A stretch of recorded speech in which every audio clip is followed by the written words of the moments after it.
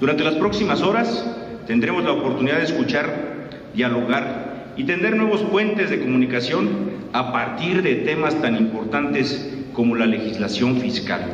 las finanzas públicas locales, la coordinación fiscal, los padrones de programas sociales y el funcionamiento de la ley de adquisiciones y de obra pública.